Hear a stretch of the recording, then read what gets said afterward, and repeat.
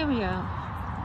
See, that's gate number one that we have to chain, we'll have to chain closed.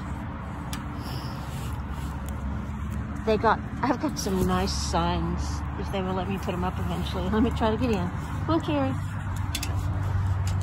Come on.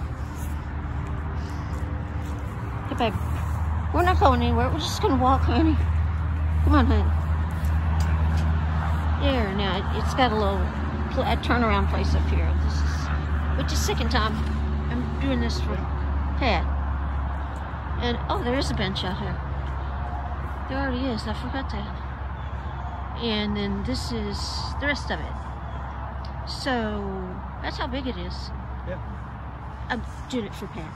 Oh, I see. Um, and they are going to put maybe it's a better bench. I don't think anybody ever uses it, and a doggy pickup station out here for me. He said for me. So here we go. We'll just let you walk it. I'm not letting Carrie go because it's mud. The mud is bad, and I don't want her to fall after her injury. Let's see.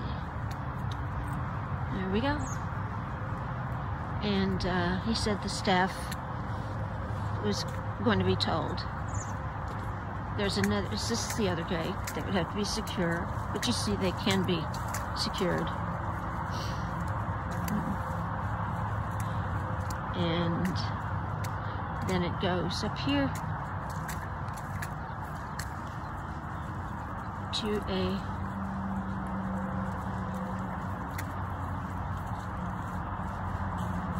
door. It's the door in. Or they can only come out. They can't come in this way. So there you go. I think a few greyhounds could run here. That's that one doesn't run.